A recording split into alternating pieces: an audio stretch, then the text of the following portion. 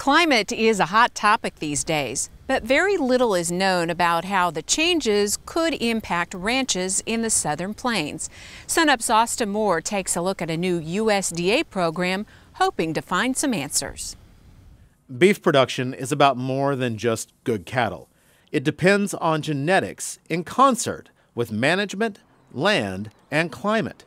You know, it requires the use of natural resources, land, it's very dependent on moisture, you know, precipitation, the pattern of precipitation, uh, temperatures and so on. And so everybody in the beef industry has a different environment. And so you can't apply one set of standards or recommendations to everyone's operation. It just won't work because everybody has a different situation. To deal with this problem, the USDA's National Institute of Food and Agriculture funded a $10 million integrated research and extension project called Grazing Cap. The work is happening across the Southern Plains, but is headquartered at the USDA's Fort Reno station. So what we wanted to do is have research sites, you know, starting in Kansas, coming, you know, from Oklahoma State, here in the central part of the state at our station, in the southern part of the state with Noble Foundation, to look at how these systems work in different parts of the climate regime that we see, as well as different forage bases and different uh, herds or different genetics of the animals with the herds that are at different stations.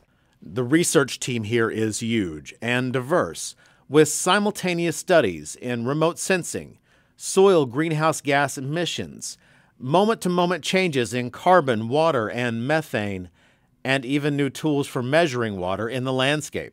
You've got animal science researchers, you've got rangeland researchers, you have agronomists, you've got soil scientists, you've got hydrologists, you've got climatologists, and it's pretty unusual to get that scope of disciplines all coming together to work together on one system and see all of the trade-offs and the interactions because it's the interactions we don't really understand very well. Uh, one of the uh, issues is greenhouse gas emissions, especially related to, to agriculture, in this case beef cattle uh, production.